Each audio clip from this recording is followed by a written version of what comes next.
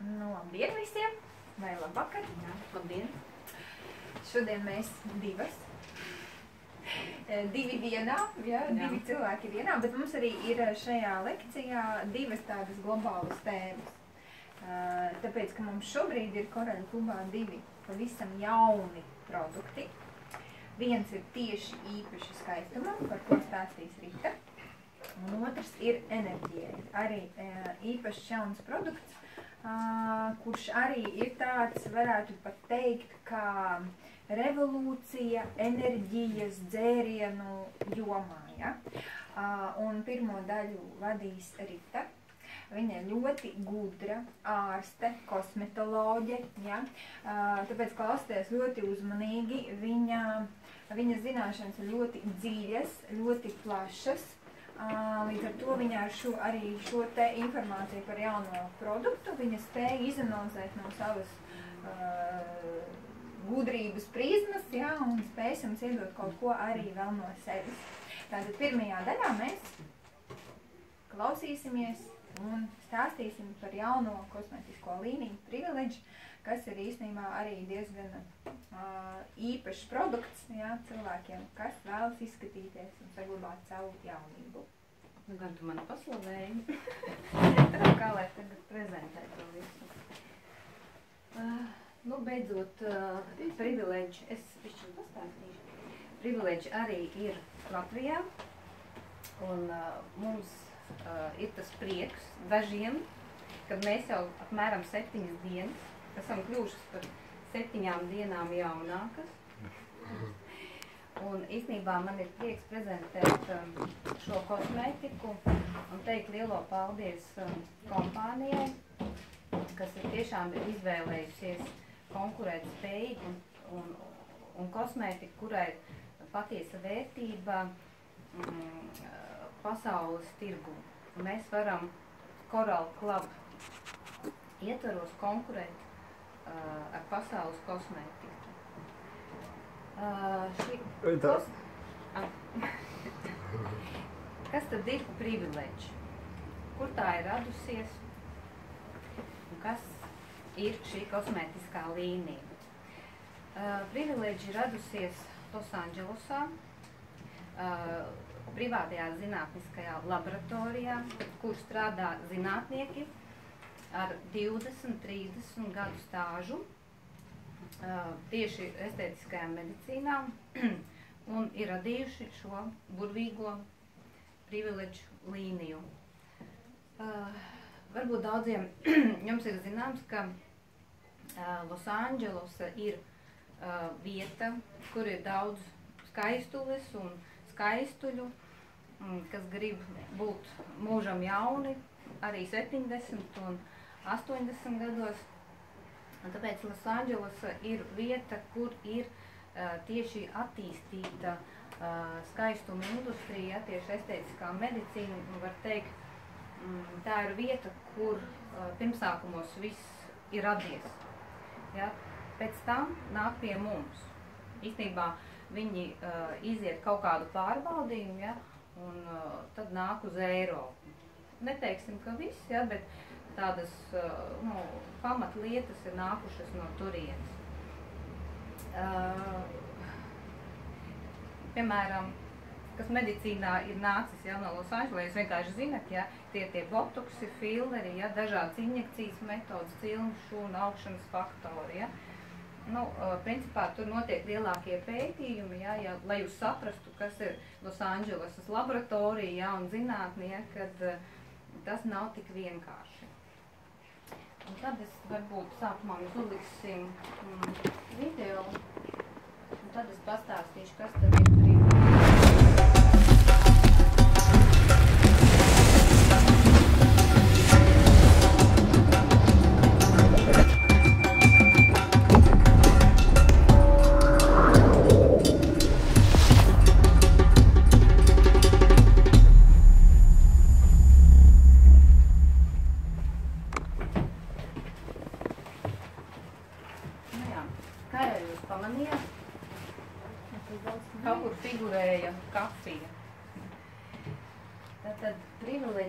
Kosmētiskās līnijas pamatā ir kona uh, kafijas pupiņas, kas ir īpaša šķirne, kas aug īpašā vietā, tas ir Havaju salās.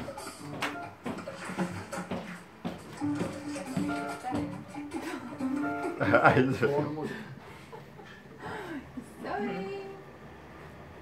Tātad kona pupiņas, jā, ir īpaša šķirne, kas aug Havaju salās tropiskā tīrā klimatā, mm, kur uz salas ir darbojošs vulkāns un uh, praktiski patstāvīgi, patstāvīgi notiek uh, lavas uh, kā izvirdums no vulkāna. Un tādā veidā uh, palielinās sauszemes platība šai salai. Un uh, šis uh, vulkāns ir vairākus kilometrus dziļš. Tas nozīmē, ka patstāvīgi no zemes dzīlēm ir tiek ņemtas, teiksim, barības vielas, mikroelementi, mikroelementi un lavas veidā, ja, tas viss uh, no, o, noplūst uz salas, ja, un tādā veidā kļūst uh, auglīga zeme. Un šeit arī aug uh, kona, pupiņas, koks, kas ir īpašā šķirne, kas ir piesātinājies ar šīm uh, barības vielām un viena, nevis viena, bet konu pupiņas satur 2000 uh, barības vielas. Tad iedomājieties, kāda šai pupiņai ir vērtība. Ekoloģiskā rajonā, ja, pilna augusi auglīgā zemē. Tā.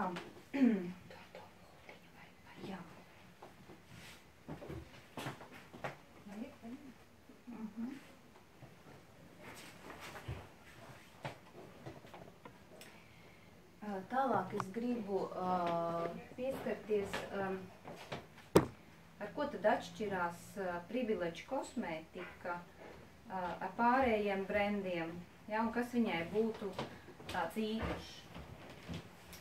Pirmkārt, šī kosmētika ir dabīga, ja, viņa ir organiska. Es pat teiktu, ka viņa ir dzīva. Uh, 50% uh, aktīvo vielu no visām kopējā, no kopējā daudzuma ir aktīvie ingredienti. Un tas uh, īsnībā ir ļoti daudz, jo praktiski mm, nu, vidēji, es pat nevaru nosaukt daudz, tas, ka katrai kosmētikai ir savi tie procenti, ja, bet 50% aktīvo ingredientu no visu kopējā daudzuma, tas ir ļoti daudz. Ar ko tad vēl atšķirās? tas, kad uh, dabīgo vielu koncentrācija ir ļoti augsta, ja, viņa ir augstāk uh, 3-4 reizes nekā uh, salīdzinot ar pārējām, nu, kas ir pasaulē zināmi, ja, brendi, ar ko var salīdzināt. Priekš kam tad ir vajadzīga tā uh, koncentrācija? Koncentrācija ir vajadzīga, uh, lai mēs varētu iedarboties uz šūnas receptoriem, lai dotu viņai impulsu, ja, jo svarīgi mm, ir aizskart, teiksim, to šūnas receptoru dot viņai komandu. Šūna kā tāda, viņa pati nedarbojās, viņa darbojās uh, uz principa, ja, ja kāds viņam dod komandu, ja, vai tās ir kaut kādi peptīdi vai signāla molekulas vai uh, hormoni, ja, mediātori. Un šajā gadījumā tās ir dabas vielas, kas arī dod signālu šūnai, lai, teiksim, nokomandētu kaut kādu noteiktu procesu. Ja, salīdzinājumā, piemēram, piemēram, kaut kāds kumelīšu ekstrakts, ja, būtu rakstīts uz mūsu buņģiņas, ja, un uh, uz citas kosmētikas, ja, bet tur nav rakstīta tā koncentrācija, ja, it kā tas ir, tā ir laba viela, ja, mēs zinām viņa, viņas īpašības, bet vai viņa darbosies, tas ir jautājums.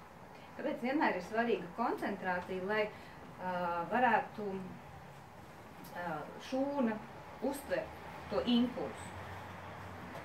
Un šeit arī strādā uh, ats, slēdzenes atslēgas princips, ja, kad, nu, tiksim, receptors saskana ar to vielu, ja, un tad tur sačupojās, ja, un rodās tas, tas signāls. Vēl kas ir raksturīgs uh, privileģi, ka uh, šeit darbojās uh, vielu sinerģisms. Uh, un sinerģisms nodrošina mm, to maksimālo efektivitāti, lai notiktu uh, atjaunošanās procesi, arī kādi citi procesi nu, ādā. Un kas ir sinerģisms? Tas ir piemēram, kad tiek kremā ievietotas vairākas vielas, 1, 2, 3, un viņas reizē, un viņas reizē, viena otrai netraucējot, viena otru ne, neinaktivējot, iedarbojās uz noteiktiem bioķīmiskiem procesiem, zinot to bioķīmisko procesu raksturu un uh, tiksim, iedarbojās, lai atjaunotu ja, mūsu ādu vai šūnu vienalga, lai kaut kādu procesu noteiktu, izdarītu un iedarbotos fizioloģiski. Ir saprotams, ja tas sinerģiskums. Varbūt ar sevi mēs runājam. Nē, man. Vielas vienu otru papildu. Jā, nu, viņas, ne, nu, jo ir svarīgi, te ir tas būtiskais, ko es gribu pateikt, ka būtiski, kad mēs ar va vairākām vielām, vienalga, cik viņas būtu, pēc iespējas vairāk iedarbojamies uz bioķīmiskiem procesiem reizē. Un uh, sarežģīti ir uh, izveidot kosmētiku, lai, teiksim, tās darbīgās vielas, ja, viena otrai netraucētu. Ja? Tāpēc šeit tas sinerģiskuma princips ir ievērots. Mēs varam maksimāli iedarboties ja, uz procesiem un dabūt maksimālo rezultātu. Tālāk.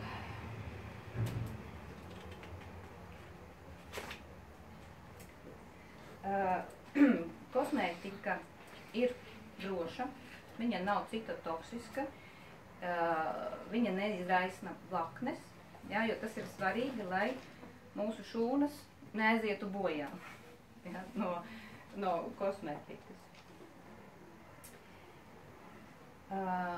Uh, vēl privileģi kosmētika atšķirās ar to, kad uh, aktīvo ingredientu uh, ir liela, tā es nesmuku pateicu, uh, ka ļoti dziļi aktīvie ingredienti var tikt, tiksim, ādas dziļākajos slāņos. Ja, tad, tad septiņas reizes kaut kur ar to komponentu palīdzību, ko es vēlāk arī stāstīšu, ja, vielas nokļūst dziļāk. Un mums ir ļoti svarīgi ne tikai lai darbotos epidermas līmenī vai ragaslāņa līmenī, lai tas nokļūtu līdz dermai, jo tur arī notiek tie novecošanās procesi, ja, kas mums ir ļoti svarīgi. Jo viens ir, kad ir aktīvās vielas, bet viņas nekur nenokļūst. Ja. Tāpēc šeit uh, akcents ir uz to, ka ir uh, krieviski ir pravadņik. Pavadonis. Pavadonis, Vadīt, jā, novadītājs. nu, teiksim, novadītājs, vadīt, nu, jā. Un otrs, ka šeit ir mazas, maza molekulu struktūra, kas arī tiek cauri raga slānim, ja, jo tur ir ļoti mazas atverītes, ja, un ne viss tur tiek cauri. Tāda maza molekula masa, jā? Tas nozīmē, Jā, maza molekulu masa. Vienkārši ir vielas, piemēram, aminoskābes un hialuronskābe, kurām ir parasti liela, jā, un viņas, protams, paliek virspusē. Tā. Tātad kosmētikā tiek um, izmantots tikai dabas vielas, faktiski, nu, organiska kosmētika, es to nosauktu. Jo īstenībā es nezinu, kā kompānija pie kādas viņu ir pieskaitījusi, ja to mēs noteikti noskaidrosim un pateiksim, bet principā tā ir organiska kosmētika. Un šeit tiek izmantotas uh, mūsdienīgas uh, tehnoloģijas, ja, lai varētu no dabīgām vielām ie, iegūt, nezaudējot viņu aktivitāti, ja, lai visu varētu saglabāt ja, un to ielikt kremā. Tā kā dabīga, ko- uh, tiksim, dabīga kosmētika ar augstu aktivitāti. Tā. Tad par galvenajiem ingredientiem, kas ir. Šeit ir tikai nu, tādi pamata ingredienti. Viņu ir daudz vairāk. Ja, un uh, pati galvenā, kā jau es teicu, um, sastāvdaļa, uz kā pamatojas privileģu kosmētika, ir uh, kafi, kona kafijas pupiņas. Un kona kafijas pupiņas tiek izmantotas gan ekstrakta veidā, gan ēļas veidā, ja, kur katra dod arī tās savas specifiskās īpašības. Un kādas tās būtu? Ja drīkst, es apsēdīšos. Viņš pirms arī palasīšu.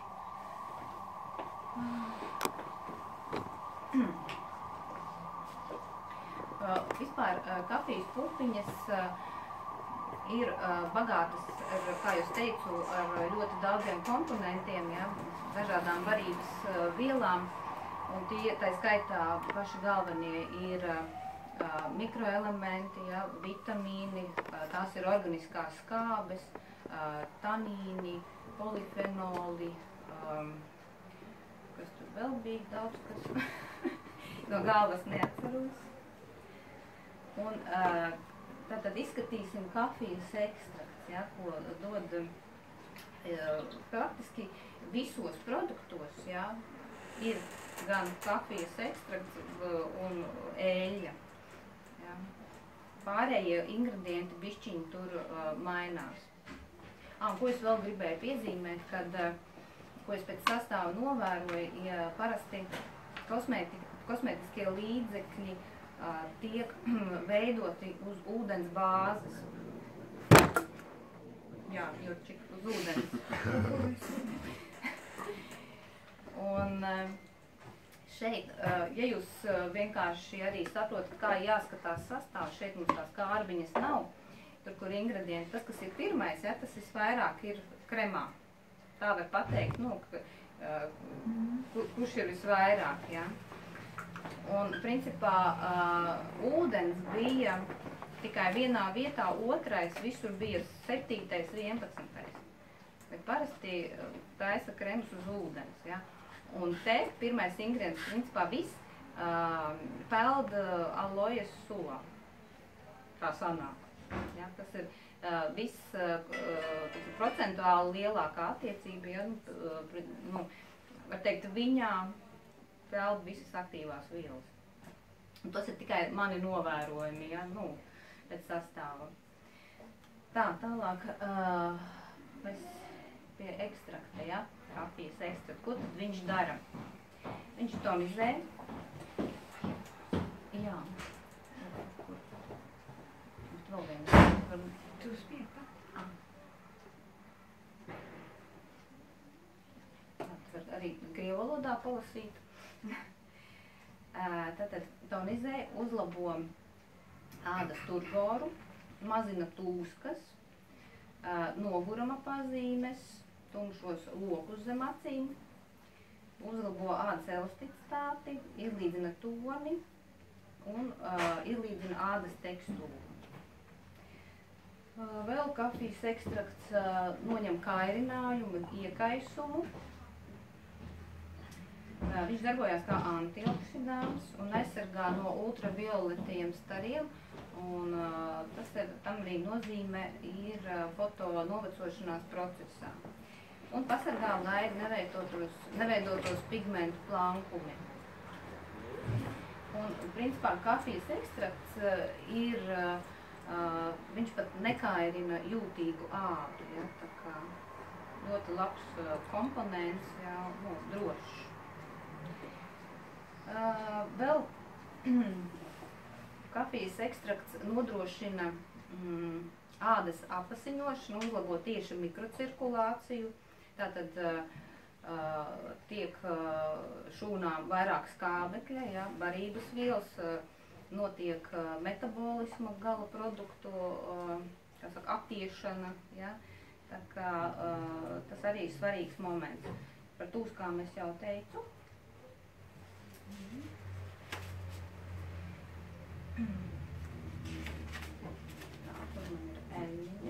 Eļņai bija tās brīnišķīgās īpašības. Um?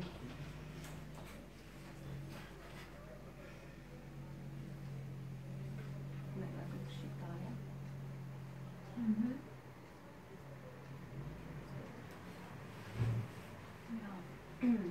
Tātad eļļa uh, satur galvenās uh, sastāvdaļas, kam ir būtiska nozīme, tas ir fitosteroli, tas ir uh, līdzīgas vielas uh, estrogēniem, tie faktiski ir fitoestrogēni. Ja kāds varbūt nezin, kas ir fitoestrogēni, tad mm, tās ir vielas, kas iedarbojās uz tiem pašiem receptoriem šūnās, ko iedarbojas estrogēni. Ja? Jo estrogēni ir tie, kas komandē to šūnu, ja? tāpēc mēs paliekam uh, jauni, kamēr mums ir estrogēni ja? un nenovecojam, ja? līdz ko viņu līmenis krītās, ja? Uh, šūnai nav signāli ja? un šūna iet savu gaitu. Un fitoestrogēni tie, kas iedarbojas uz tiem pašiem receptoriem. Tādā veidā mēs varam to šūnu stimulēt ja, un uh, no novecošanās attālināties. Un šī eļļa arī satura ļoti daudz šīs vielas. Un uh, ir vairāka veida tokoferoli, ja, E-vitamīnu veidi, kas ir nu, antioksidants. Ja, un uh, nepiesātinātās taukskābes, no kurām 50% ir omega-6 skābe, linoleīna skābe, ja, kas ir ļoti arī svarīgs komponents. Tā ir tās eļas, teiksim, galvenās sastāvdaļas. Protams, tur ir vēl, ja, tad tās ir tās galvenās, ko, ko, ko vajadzētu atzīmēt. Un galvenā kafijas eļas īpašība ir tā, ka viņa arī palīdz to penetrācijas procesu, lai mums vielas nokļūtu dziļāk. Jā, tāpēc septiņas reizes nokļūst dziļāk, divas reizes vairāk tiek stimulēta uh, mūsu pašas uh, hialuronskābes sintēze, jā, mūsu matricā. Un kopā sanāk, ka ekstrakts un eļļa uh, piedalās visas dermas struktūras elementu veidošanā. Ja, tā kā ļoti diezgan spēcīgs materiāls. Ja. Man jautājums, ar ko slīdzināt septiņas reizes dziļāk? Nu, pret ko to salīdzināt? Nu, piemēram, mēs varam salīdzināt olīveļu, nemoeļu un visu kaut ko tādu. Mm -hmm. Tā, tālāk. Uh, uh -huh. Viņa atgriežas, ja?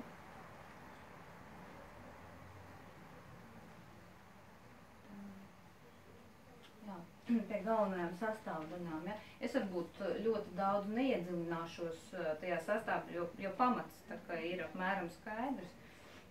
Lai citiem dot arī vārdu. Stāsti, Nē, nu es jau vēl stāstīšu daudz, tāpēc. uh, tam ir uh, sastāvā ir uh, jūras um, kolagēns.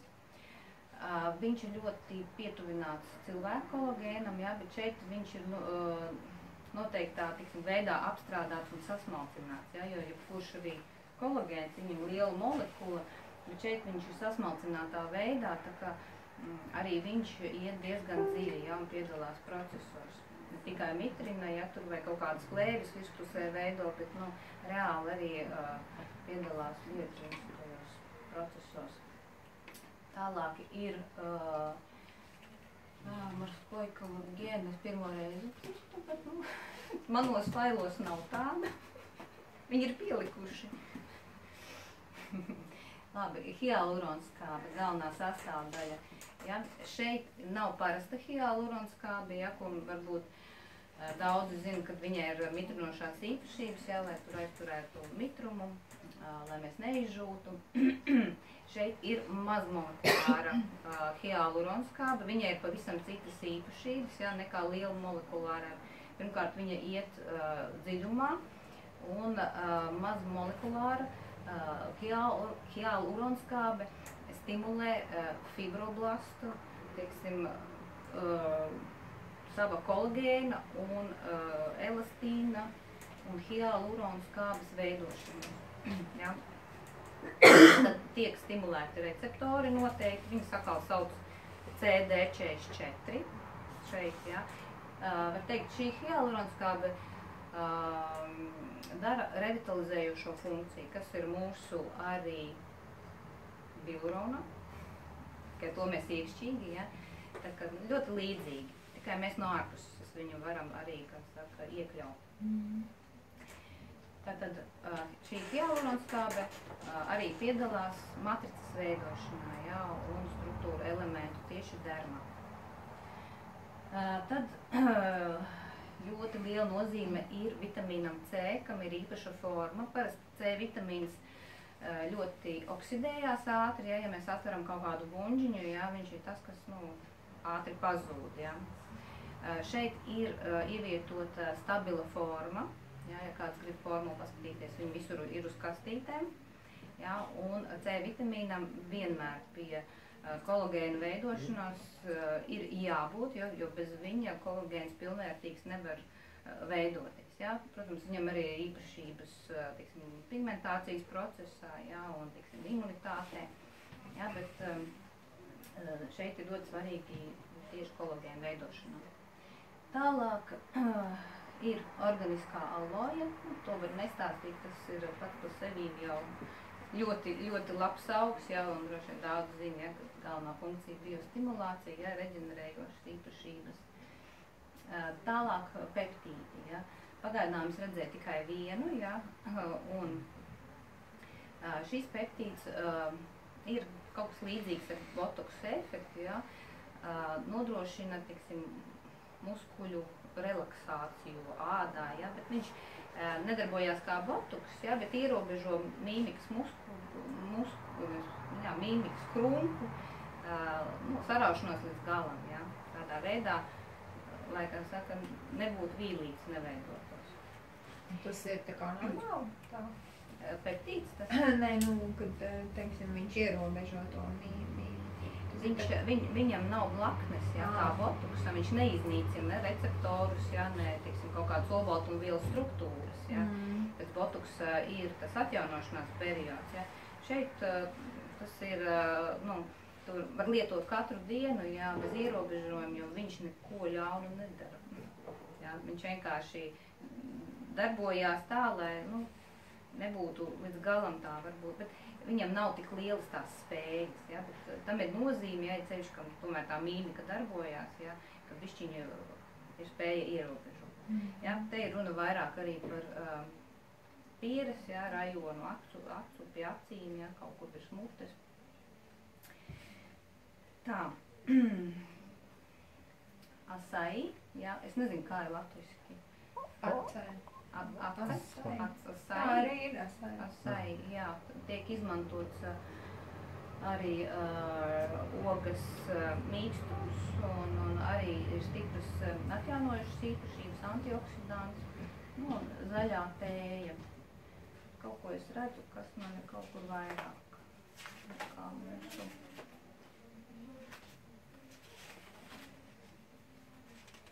Ā, vēl ir jūras zāļu komplekts, ja, sastāv no, es tur nesaukšu latīniskie nosaukumi, ja, piecām jūras zālēm, ja, kam arī, teikt, no jūras produktiem, kā, kas arī ir piesātināti ar mikroelementiem, ja, piedalās gan mitrināšanā, gan, teiksim, kaut kādas sejas krāsas uzlabošanā, nu, nu kā, teiksim, mikroelementi darbojās.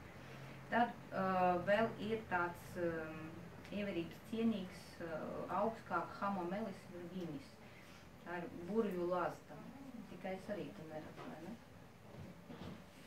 burju lazda, izpalikusi.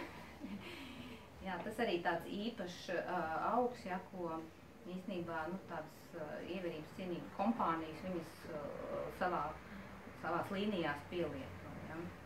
Tas ir tāds augs, kas uh, tad, kad visi kā iet uz rudeni un ziemas guļu, viņš sāk plaukt. Nozīmē, ka tur ir tādas spēcinošas vielas, ja, kas var izdzīvot sūros dabas apstākļos, ja, un vēl uzziedē. Nu, kā mēs ziemā uzziedam. Tagad to ir, ja mēs ziedam, tad tā ir burju lazda. Ietekmē. Tā, tas ir būs par galveno sastāvu, uh, bet uh, ļoti laba kombinācija mm, šajā tiksim, līnijā ir, kad kopā ir fitoestrogēni, C vitamīni, C vitamīni, vitamīns un retināls, ja, kurš te nav pamats sastāvā pieminēts. Ja, un tas īstenībā ļoti anti-age laba kombinācija. Un tas ir ļoti svarīgi, kad uh, vitamīns C ir ļoti lielā koncentrācijā, Viņ, viņš ir pieļaujamā koncentrācijā, jo arī no C vitamīna koncentrācijas ir atkarīgs, uh, vai viņš vispār iedarbosies, ja, jo, tiksim, ir uh, procenti, ja, zem kura viņš pat uh, nepiedalās tanī un neskatās uz uh, to pusi, ja, uz to procesu, ja viņš varētu kaut ko izdarīt. Tāpēc C vitamīns ir uh, kombinācijā svarīgs un retināls, ja, kas ir uh, nu, A vitamīnu mēs nevaram kosmetoloģijā pielietot. Ja? Tur parasti lieto vai nu retinolu, spirta formu, vai retināls ir aldehīda forma. Ja? Kāpēc to pieminu? Jo daudzām kompānijām ir teiksim, tā otra forma, ja? jo tad, kad uz ādas virsmas viņa sāk pārveidoties, nu, viņa iziet savu gaitu, ja, lai pārveidotos par retinoīdu skāpu, nu, A vitamīnu, kas mums ir vajadzīgs. Ja? Nevis tas retinols mums ir vajadzīgs vai retināls. Un retināls uh, savukārt ir tā forma, kas jau ir tuvāk, viņam tikai viens solis paliek, lai pārvērstos par retinoīdu skābu. Tas, tas, tas ļoti svarīgs moments, ja? jo, jo tieši retināls ir tā forma, kas darbojās. Ja? Un tāpēc viņi arī šeit ir uh, pieļaujamās normās, ir pietiekošā koncentrācijā, ja, lai viņš darbotos. Tad, tad šīs vielas trīs kopā, jā, man ļoti patikās, jā, kad šeit ir. Tā, un tagad varbūt uh, mēs varētu, uh, kā saka, pieiet pie līnijas, jā, varbūt to praktisko pielietojumu, kā lietot, jā, un kas apmēram ir uh, tajos sastāvos, nu, tā īsi. Jo īstenībā par kosmētiku ir jātaisa vēl viens seminārs tā plaši, un Tad mums būs arī vēl vairāk padziļinātāka informācija. Septiņu dienu lietotāji. Mums ir septiņu dienu klubiņš, kas ir par septiņām dienām kļuvušas, kļuvušas jaunākas. Tagad Ivetiņa padalīsies ar savu lielo pieredzi septiņu dienu. Arī ārste kosmetoloģija, kas Iveta Žīgure. Tiešām jaunāka. Paldies! Paldies visiem! Un man ir tiešām prieks par to, ko Rita izstāstīja. Jā, un man liekas, viņa pateica ļoti daudz, un tas tieši tā kā Vineta saka, ka ir ļoti, ļoti svarīgi, ja nevis vienkārši, ka mēs izlasām uz kastītes, ja, kas tur ir, tas mums īstenībā daudziem neko neizsaka, bet padzināt, izstāstīt. Un to, kā ārsts kosmetologs, es varu pateikt vienu, kad šajos kremos patiešām ir apvienots viss tas, kas ir šobrīd aktuāls anti-age, pret novecošanas programmas kremos, ja? tas ir retināls, teica CE vitamīns, hialurona skābe. Un, um, un tātad šis sastāvs ir iedarbīgs un galvenais tas, ka viņi nonāk dziļākajos ādas slāņos, tas ir dermā. Jo, diemžēl, tā kosmētika, ar kuru mēs saskaramies ikdienā, paliek tikai ādas virsējā slānī, epidermas līmenī un nestrādā. Jā, reāli nestrādā. Jā. Un ko vēl es teiksim par to pieredzi un lietošanu? Savā darbā strādājot, es saskaros pārsvarā ar to, ka sievietēm patīk, kā šis krems smaržo, kā viņš klājās un kā viņš iesūcās. Tie ir tie galvenie rādītāji, uz kuriem bieži vien um, cilvēki tiešām vērš uzmanību. Jā. Man patīk tā smarža, man patīk, kā viņš iesūdzas, viņš ļoti labi klājās, ja tas ir tas komentārs jā, par šiem kremiem, bieži vien, ko sievietes lieto. Un es gribu pateikt tikai to, ka arī šī kosmētika vienkārši fantastiski klājās. Viņai ir šī burvīgā īpašība, es, ka šie te kremi iesūcās. Jā, jo šobrīd aktuāli ir tas, ka man uh, pēdējie visi tiešām dārgu firmu kremi, uh, viņi atstāja reāli plēvus sejas, seja ir neelpojoša. Ja viņi pēc tam, ja tu nejauši roku pieskaries, izdara kaut kādas kustības, viņi reāli rulējās nost, ja, tad, tad viņi veido šo plēvu, par kuru mēs runājam. Ja, kas šķietam rada komfortu, un es dažreiz arī klientiem prasu, vai jūs interesē rezultāts, Vai vienkārši, ziniet, bija kādreiz tā taula reklāma, kad nekur neko nevelk. Ja? Jo bieži vien tik tiešām tas krems vienkārši pēc viņa lietošanas nekur neko nevelk, bet iedarbības nav. Ja? Un um, sajūtas lietojot šo kosmetiku ir fantastiskas. Tad, kad es iegādājos pirmo šo produktu, dienas kremu, es vairs nespēju nevienu, pat tiešām jāsaka, dārgas firmas krēmu, kas man bija mājās, uzklāt uz savas sejas. Vienkārši tad, kad es sajūtu to reālo atšķirību, kas ir šiem te kremiem, sajūtu ziņā, jā, jo tomēr dabīgs produkts ir dabīgs produkts. Tad, kad mēs lietojam no vecāmies dārgas tomātu vai, vai vienkārši ir imīgi pirkt, es domāju, ka jūs visi sajūtat atšķirību, kaut arī tomāts ir tomāts, ja mēs, teiksim, tā paņemam. Jā tiešām es uzreiz atnācu nopirkt arī sarumu, jo es sapratu, ka nu jā, es, vairs, es nevarēšu vairs lietot to, ko es šobrīd lietoju. Un um, sajūts ir vienkārši brīnišķīgs. Jā. Seja ir maiga, skaista, jauka. Jā. Protams, nedēļas laikā, teiksim, septiņu dienu laikā tās izmaiņas nevar būt tik ārkārtīgi būtiskas, bet es jau viņas jūtu un redzu šobrīd. Jā. Tiešām man jautā, tu tiešām nelieto tonālo krēmu? Es saku, nē, nelietoju tonālos krēmus, jā, viss tiešām uzklāju šo krēmu. Nu, nav nepieciešamība vēlēšanās um, arī kaut ko tādu lietot, vienkārši nav vajadzības. Tā kā, ja krēms ir serums, ir, būs arī nākamie produkti, jā, vienkārši man šobrīd arī vēl nav viss komplekts lietošanā, jā, bet nu, neko, ne ar ko labāku es savā dzīvē, savā uh, ilgajā kosmetologa pieredzē tiešām neesmu skārusies. Un arī vēl tas, ka šī kosmētika strādā, Rit jau izstāstīja par šīm brīnišķīgajām īpašībām. Jā, tas arī ir ļoti būtiski, jā, jo cilvēki tiešām, nu, to var saprast, ka nelastoks ir uz buņģiņas vai arī nav priekšstats, ir tikai normāli.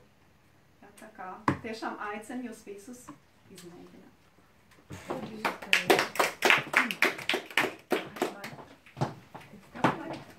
Kamēr Ivetiņa runāja, es arī atcerējos es varbūt tādu būtisku lietu, kad uh, Vispār kosmē, kosmētika iedalās uh, teikt, divos veidos.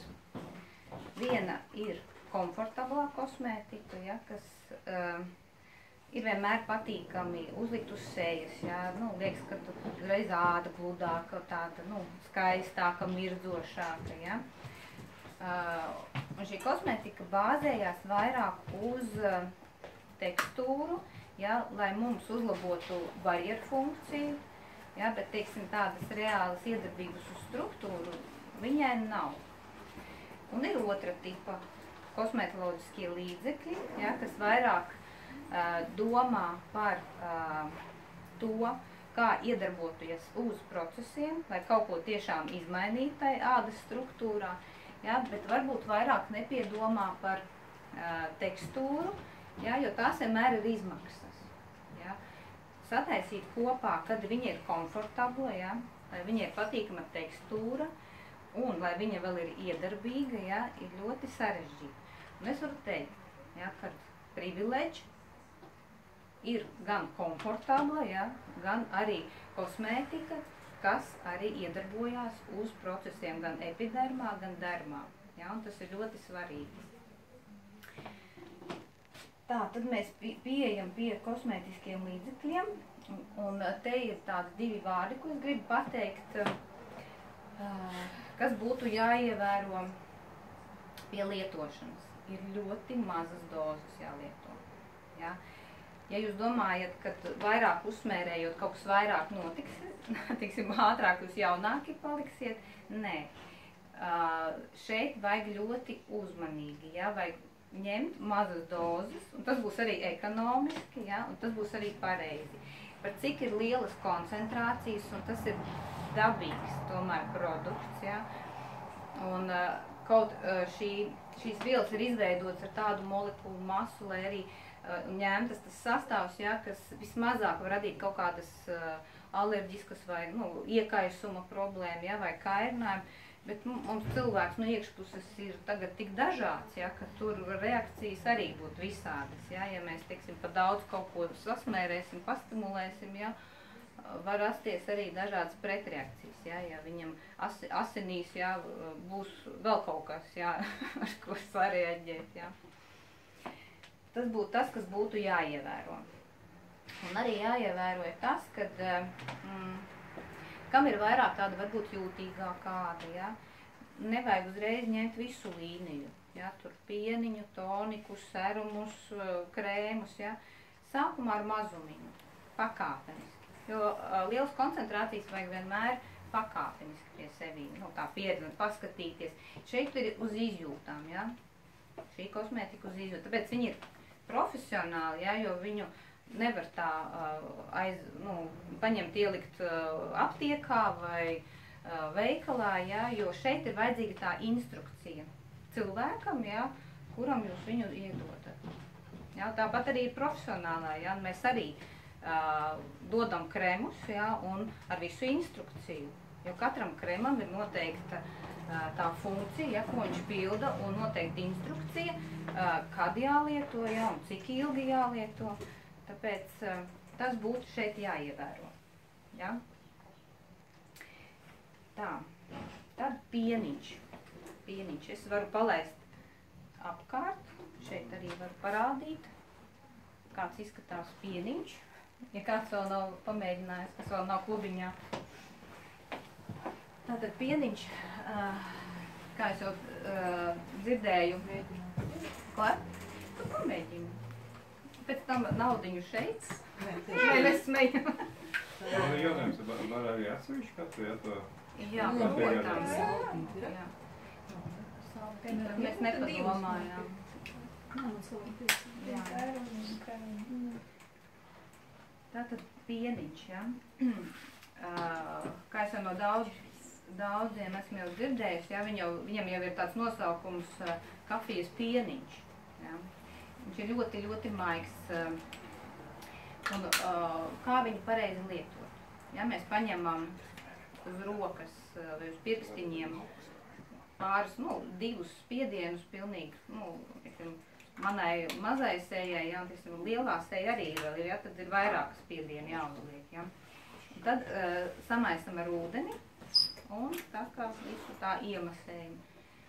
Ko es gribu varbūt uh, pabrīdināt, kad varbūt uzmanīga pacīm. Ja, varbūt ne visiem, jā, bet uzmanīga pacīm. Ja, teiksim, uh, uh, man, man bija bišķiņ, nu tā, pa smagu, ja es, teiksim, kosmētiku ņēma šo pieniņu. Ja, bet pārējais bija viss ok. Ja, vienkārši kuram jūtīgas acis, ja, ir, nu, lai neradītu nekādas tādas sajūtas. Un ko tad dara pieniņš? Ja? Viņš uh, attīra pirmkārt ādu, ja? mīkstina, atver pūriņas, ja? lai nu, tiksim, pēc tam pie ingredienti, ko mēs tālāk liksim, uh, arī dziļāk uh, iesūktos uh, atslēdzina, noņem tūsku, nomierina, uzlabo asinsritu, piesātina ar skābekli, ja, varīgas vielām. Tā kā principā, tā, tā kā ar vienu pieniņu īstenībā jau, ja mēs paņemam, ja, mēs varam jau daudz ko iegūt.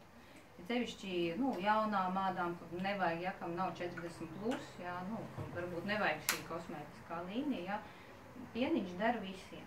Ja? Tā kā mazgāt tur. Jaunieši arī jau izmēģinājuši, tā kā izskatās labi. Un kluso droši vien izmēģina. Nē, nē, nē, tur bija tāda kontrole. Uzdevums, jā. kontroli, jā. Un ar pieniņu mēs tīram uh, gan kosmētikai mums ir, jā, gan arī nav kosmētika. Jā, viss ar vienu līdzekli. Jā. Pēc acīm vienkārši jāskatās varbūt kaut ko citu. Ļoti labi acīm. Nē, nē, nu, tīra labi, jā, vienkārši es pēc tām sajūtām, jā, tāpēc te ir katram savs, jā, jo katram acis ir savādākas, man ir pavisam citas. Un uh, es daru tā. Uh, tātad pieniņš ir uh, no rīta, jā, pats pirmais, un vakarā. Divreiz dienā mēs ar pieniņu tā kā mazgājamies.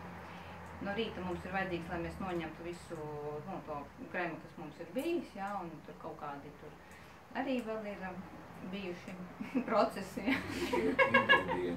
Netīru rūka nakti. Man ir jautājums, tas ir tikai sejai vai arī kaklam un uh, Kaklam rokām? un var arī pēdas, protams. Dārgi. Jā, nu, es saku, ir lielā seja, lielā seja un, kā saka, nē, šitā ir lielā seja un šitā ir mazā seja. Tā kā pieniņš. Jā, tas jau uz ķermeni vēl.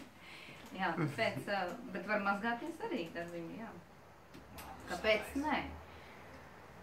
Tas- Tas ir vienkārši citas izmaksas. Tātad divreiz dienā, jā, pieniņš, tas ir pirmais. Tālāk ir, mēs laikam jau negatavojām, ir uh, toniks. Tas ir tad, ja mēs, piemēram, neliekam skrabi. Jā, par skrabi es pēc tam pastāstīšu toniks. Mēs nepaņēmām vienīgais tās vatītes. Nu, jā, tas ir grūti noteikt, ja Nu, jā. Nu, vienkārši vismaz paskatīties. Ā, Kāda īpašība galvenā ir ā, tonikam, ja tas nav tā, tāds toniks, ar kuru mēs kā tīrīsim seju. Ja, kā par, parasti pieraduši cilvēki domā, ka toniks ir, ka, ka mēs pabeidzam tīrīt seju. Nē, tonikam uh, ir mitrinošā funkcija. Ja? Un viņš arī ir piesātināts ar dažādām varības vielām un uh, noņem iekaisumu, jā, tiksim, mitrina, tāpat pievelk sejas ovālu, kā man raksta. Mazina asinsvadu tīklojumu, uzlabo ādas krāsu. Ja? Tā kā viņu principā var lietot arī tā, nu, dienas laikā, dienas laikā, piemēram, jūt, ka tad ir sausa seiņa vai, vai ne, kad vajadzīgs kaut kāds mitrinātājs, ja? Vai kas bieži lido ar lidmašīnu, ja, kur parasti mēs tos ūdeņus kaut kādus, ja, tad mēs varam ar toniku uzšķiņu. Tā kā viņu uh, uz vates tā tām, nu, ripiņas, ja, kaut kādus, nu, divus, trīs, tad sanāk uz lielo seju arī. Jā, apmēram tā. Ļoti uzmanīgi ap acīm. Ap acīm nē. Ja, toniku taču nē. Pēc. Tāpēc, ka tur ir ap acīm vispār ir jābūt uzmanīgi, jo tur ir pavisam cita āda, tur ir plāna un viņa reaģē pavisam savādāk. Ja Nu, viņa atšķirās.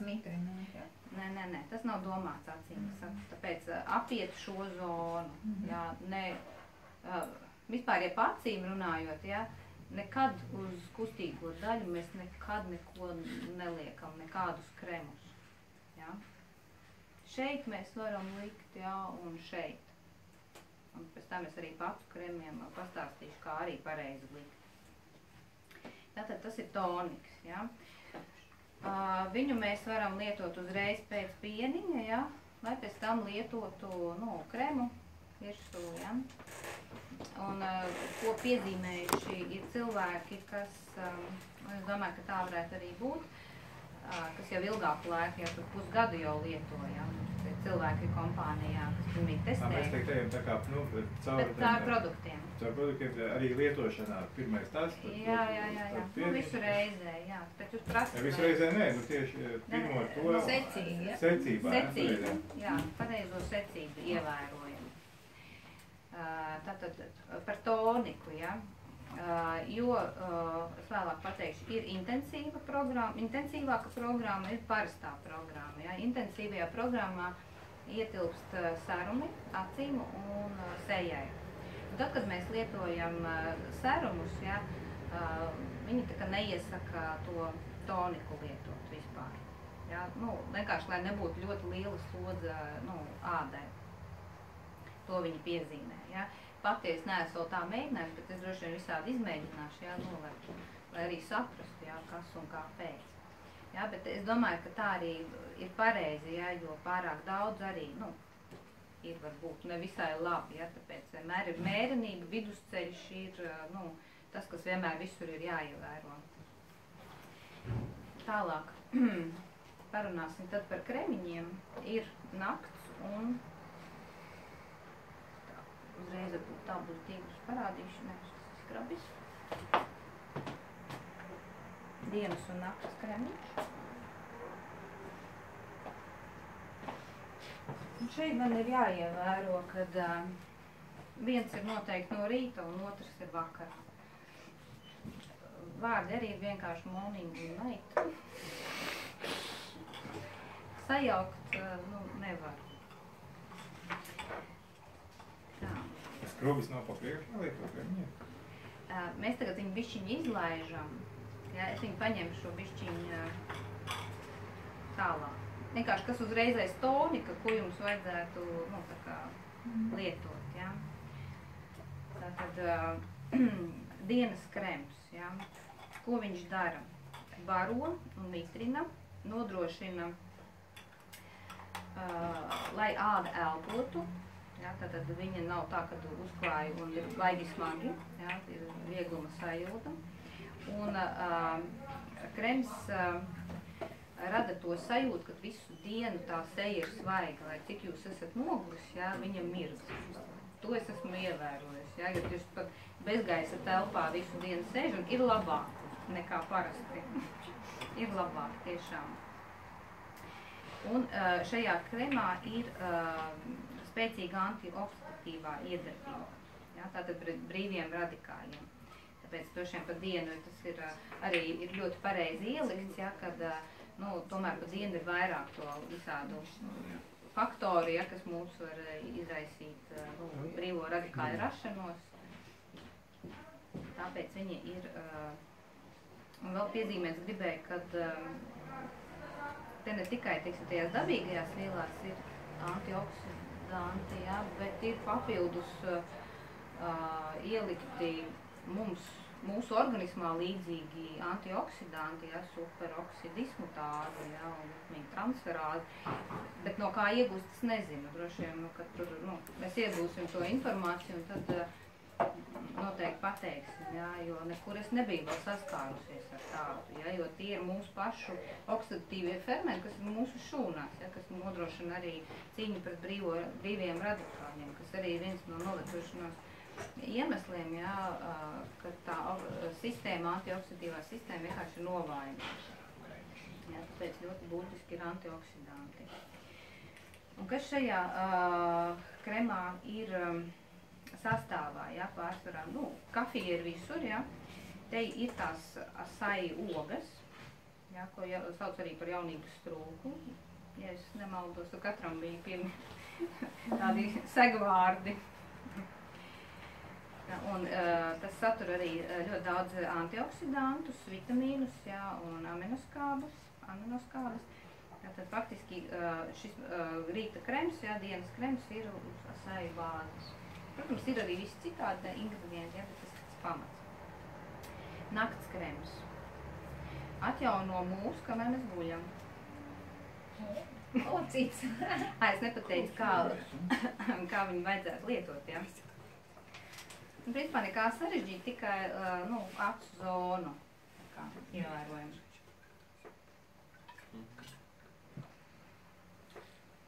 Arī uz lielo, lielo seju. Tātad nakts krems, jā, atjauno, kamēr mēs guļam. Un sastāvā ir um, kafijas pupiņas. Te ir uh, augu eļas, jā, tas ar ar lelīns, ja, tas tā, peptīds, laminārijas, asājis, kvalēns, A un C vitamīns. Un krems noņem nogurumu, tūsku, vītuma pazīmes, atjauno šūnu imunitāti, Un, uh, kad mēs no rīta pieceļamies, izrādās ovāls. Cita seja. Tāds ir nakts krems. Par nakts kremu arī ir jāpiezīmē, ka viņu smērēt uh, pavisam tāli no uh, acīm un arī vat, ir tie nu, maisiņi, ja, kurus teiksim, arī vajag apīt. Vat, līdz šejienē vajag viņu smērēt. Visur te var, bet Te, te Šitos nē, jā. jā. Ko tur vispār kaut ko drīkst? Ģenerāls. Ai, Drīkst. jā, vienu mirkli. Tātad, apējot šo zonu, ja, viņa arī diezgan problemātiska, ja, lai no rīta nav problēmas. ja, dažreiz viņi var vienkārši veidot kaut kādu tūsku, ja, ja bišķiņa pa smagu. Uh, tas par naktskrēmu. Bet tā visu atkal lielo seju smērējam. Tā, ko mēs neesam paskatījušies, uh, serumiņš, ja. Uh, serumi jau pieder jau pie intensīvās kopšanas, un kurā mēs neiekļaujam varbūt to toni. Bet katrs atkal var izmēģināt, ja, pēc sajūtām, kā ir, ja. Protams, to nevajadzētu, ja ir uh, tur, tos visus līdzekļus, ja ir piemēram kādi 30 un 35 gadi, ja.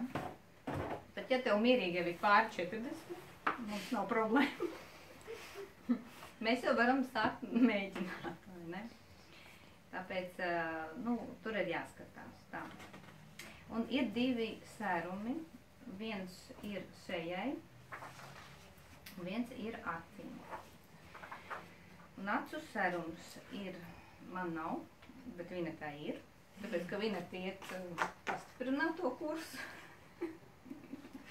Man, es ar vienkāršo, tiekam jau pār 50. Tāda ir. Tagad mēs visu uzzināsim. Es jau ne par tevi. Vai par mani? Pasakiet, ka man 60 vai vairāk. Tā, acu serums, ko viņš dara? Izgudina tekstūru. Uh, Tekstūra, ādu tu tas ir, nu, līdzenāka tā āda, izgudinās krūciņas. Ah. tekstūra. Ādas virsma, epidērma, ragaslāns.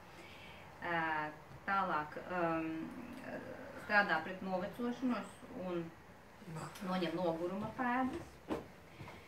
Mazina pigmentāciju, tūskas. Esmu, ko tas ir, pievelk ādu apacī. nu, ādas. Savelk. Nu, savalkā, jā, viņa Kurā vairs- virzienā?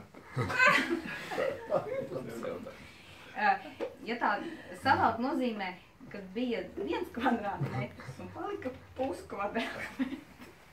To nozīmē savalk. Viņa vairs tā vairs neatkarājās. viņa tā. To nozīmē pievelk.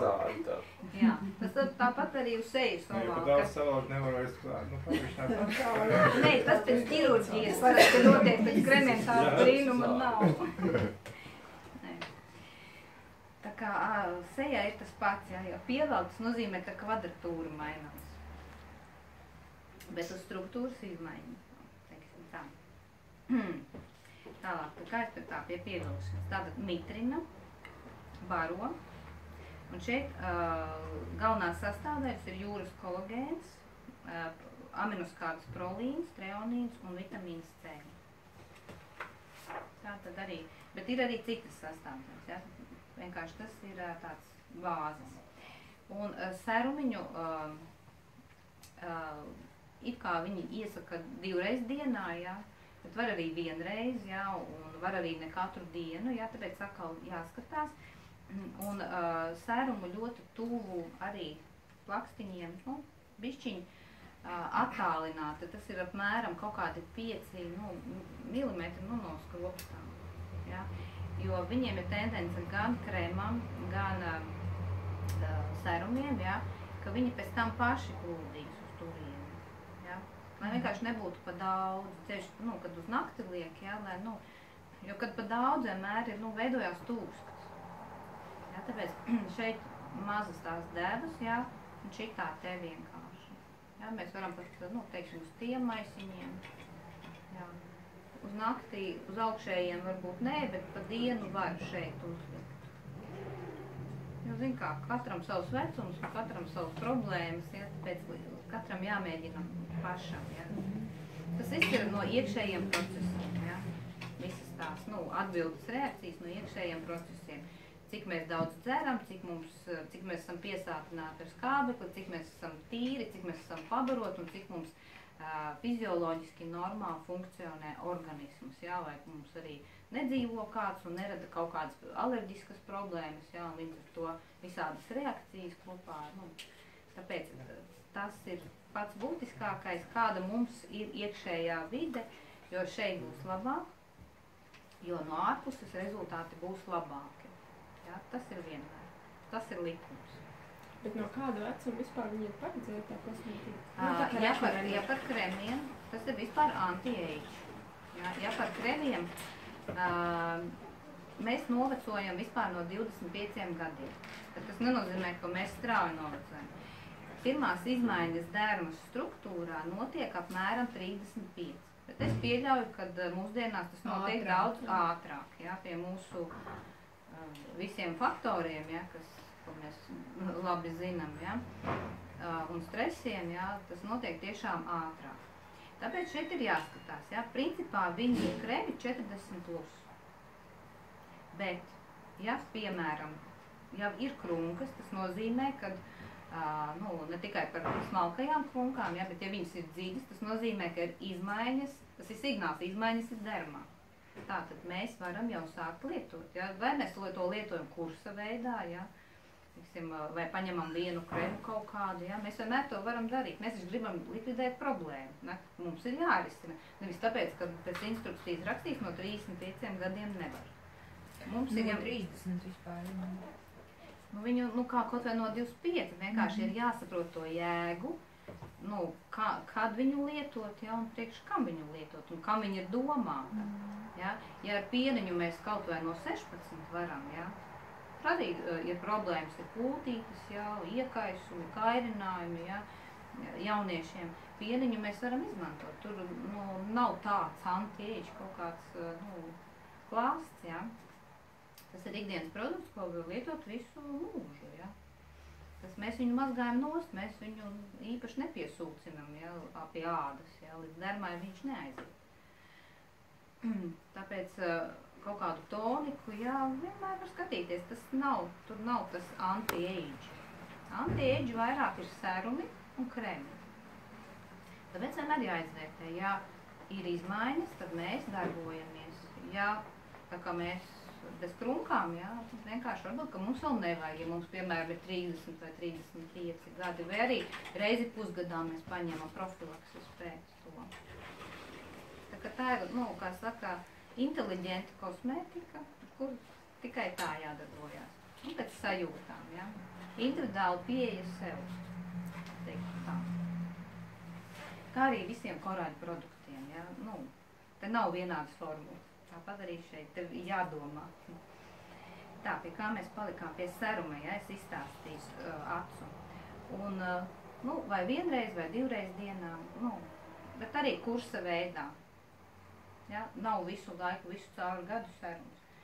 Es pat teiktu tā, vai uh, reizi pusgadā, vai reizi trijos mēnešos, ja, nu, kursa veidā. Tā, sejas serums. Sejas serumu nekad neliekam uz acu zonu, ja, vienmēr tikai uz mazo vai lielo seju atkal. Ja, un vienmēr zem krema liekam. Tātad, ko dara serums?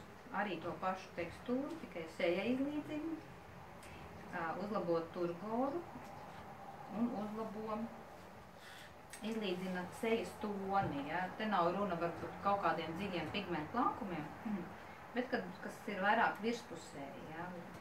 izlīdzinās sejas toni, ja? pigmentāciju.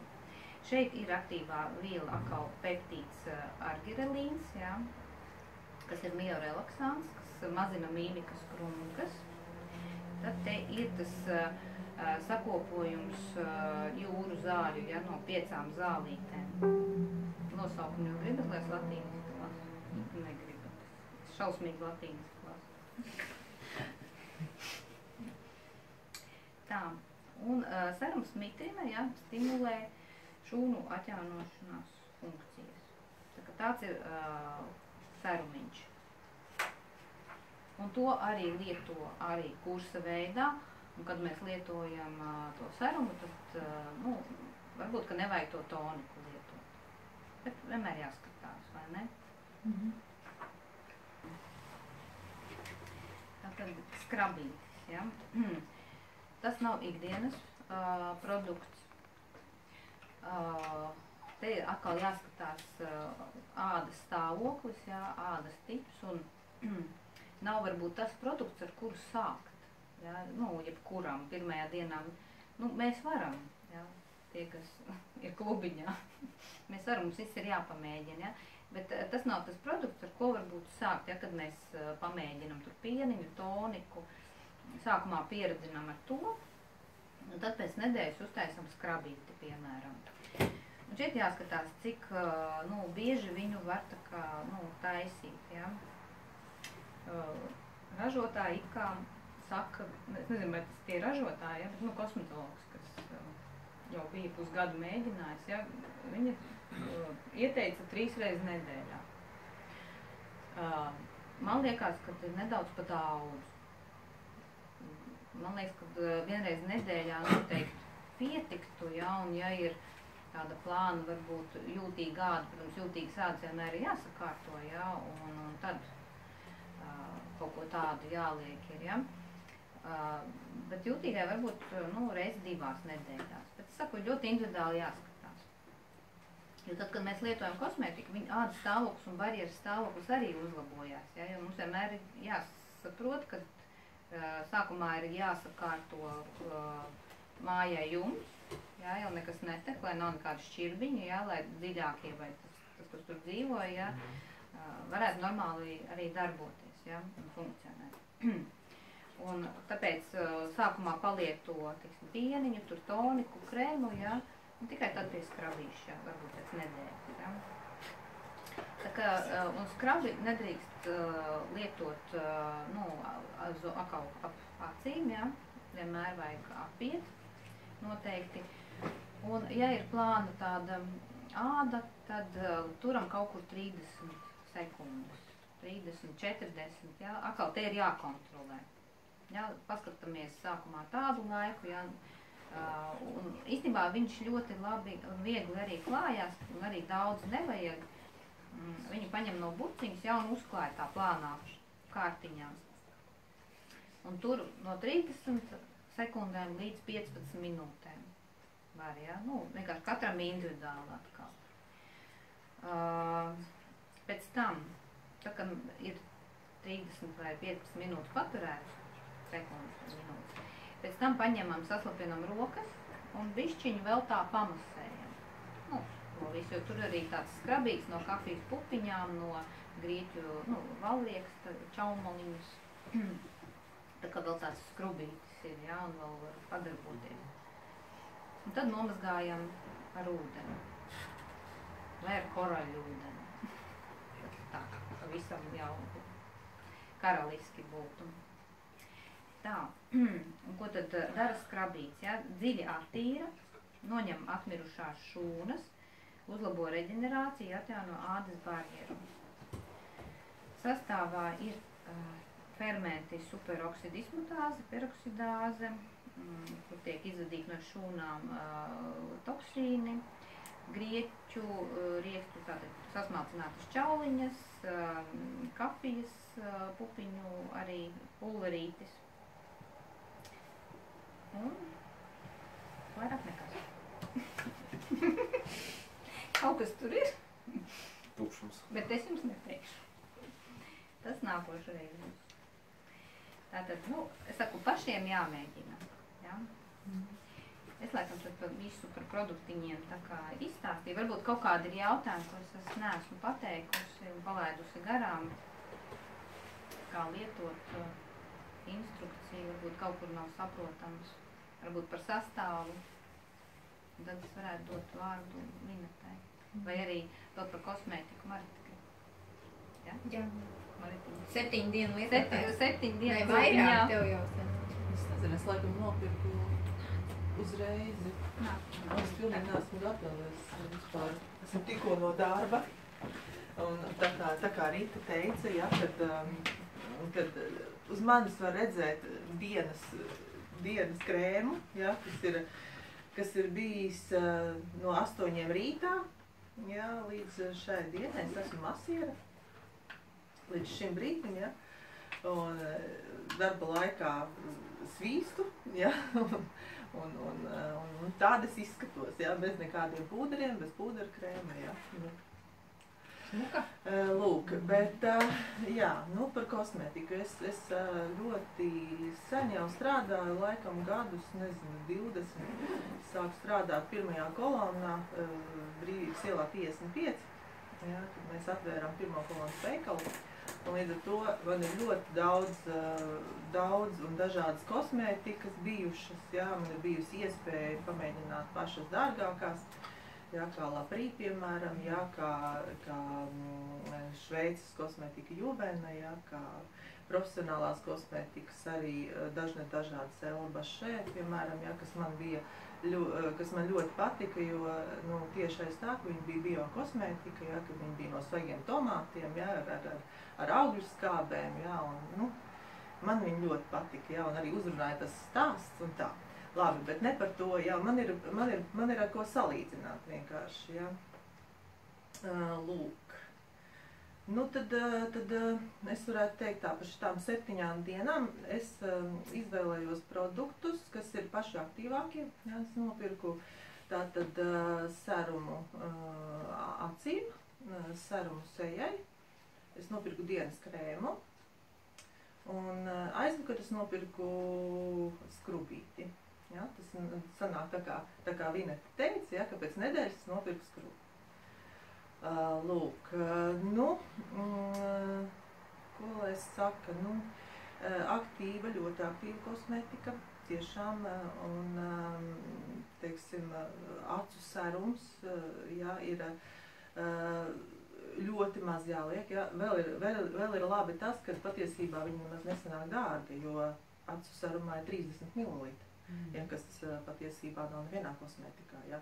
Plauktu produktos, kā mēs viņus saucam, ja, uh, ir 15 ml. Ja. Uh, šeit ir divreiz vairāk, un viņš maksā, ja nemaldos, kaut kādi 60 eiro, ja, līdz vai 58. Ja, tad sadalot uz pusēm tie 30 eiro, tas vispār nav nekas. Ja. Tā ir, tā ir uh, vispa, visparastākā, teiksim, vidējā līmeņa kosmētikas cena. Ja. Tā kā, Tas ir viens. Otrs, tiešām, kā, kā Rīta teica, ja, ka viņu vajag ļoti maz. Ja, un ar spātelīti, ja, kas šeit pietrūkst. Ja, bet es sapratu, ka viņas būs.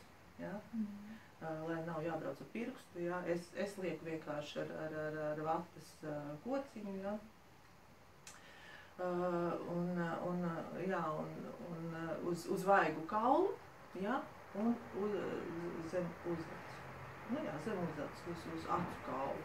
Ja, bet uh, es jūtu to iedarbību, man ir ļoti jūtīgas acis. Es esmu ilgi strādājusi ar, ar, ar visādām kosmetikām, ja, ar, ar, ar visādiem krēmiem, ar eļļām, ar etriskajām eļļām. Ja. Un man bija ļoti grūti atrast sev kosmetiku, jo man viss koda, asaroja acis. Uh, apsārtums bija, ja, un es, nu, tiesībā pēdējā kosmetika, es negribu nosaukt vārdā, ja, bija brīnišķīga kosmetika, bet bet uh, es viņu nevarēju lietot, tāpēc, ka uh, visu laiku grauzās. Uh, un, uh, un es biju tādos meklējumos, es jau pat sapratu, ka uh, nu, man ir jālieto vienkārši aloe vera kaut kāds, uh, kaut kāds uh, gēls, ja, kas ir pilnīgi uh, antialerģisks. Ja, un tad, uh, nu, tad, jā, nu, tad es, es noriskēju vienkārši. Ja. Lūk, un no sākuma es jūtu tādu sildošu sajūtu. Tas pirmajā trešajā dienā patiesībā es sajūtu tādu sildošu, uh, sildošu sajūtu, un es domāju, ka nu, tūlīt tās būs atkal, ja, ka būs atkal al- alerģija. Ja. Bet nekā, ja, tā alerģija ne, neizpaudās, ne asarošanā, vienkārši es sajūtu to mm, tā saruma darbību, tā kā, tā kā viņa iedarbību, jā.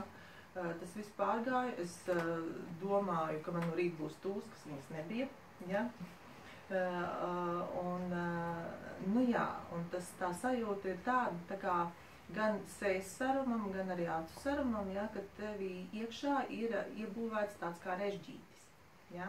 Pēc kaut kādas ceturtās dienas es sajūtu, ka man āda ir, uh, paliek stingrāka, ja, sejas vēl vals, un vispār nu, tā sajūta ir tāda, ka nu, tā kā tev tur, ja, tā kā, tā kā kompakti, konkrēti sejas vaipsti. Ja. Nu, tā, ko tad vēl patīk man tas, ka viņai nav nekādas eh, ķīmiskas smaržas, jā, kā man kā alerģiskam cilvēkam, jā.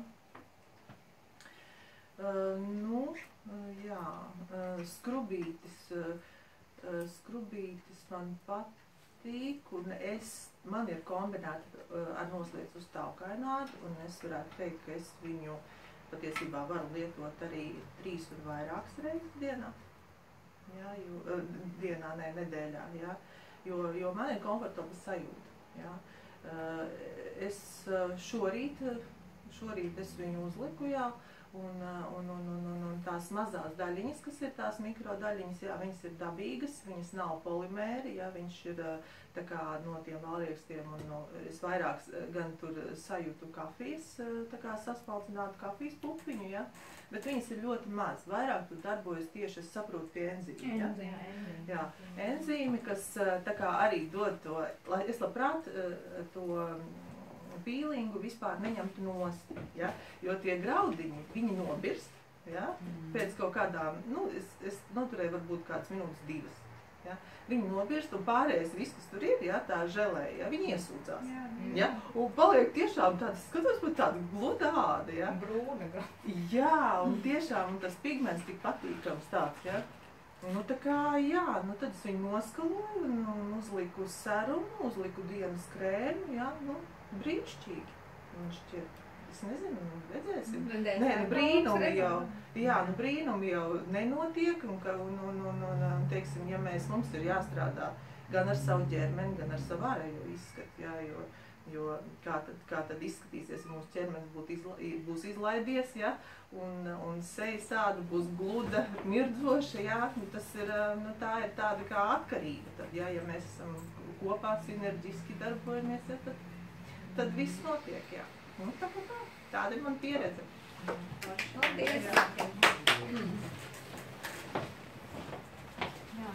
Baterija jau man beigās. Jā, nu te ir galvenais tas, tas moments, jā, kad, ā, jā, jā, ā, galvenais tas moments, jā, ā, kas mums ir iekšā, jā, kāda procesa mums ir iekšā. Jo mēs esam tīrāki, jā, pabarotāki, ā, piepildītāki ar ūdeni, o, jo kosmētika iedarbosies labāk, jo viena pati kosmētika brīnumus nedara, jā, kā teica arī Maritiņa, jā, tas ir tikai tāds uh, īslaicīgs efekts, ja, jo kosmētikai ir robežas. Ja, viņa vienmēr ir atkarīga no jūsu iekšējiem procesiem. Un kosmētika darbojās tikai ādas līmenī, ja, viņa nedarbojas ne tiksim, muskuļu, ne kaulu līmenī, ja, bet noveco arī tie slāņi.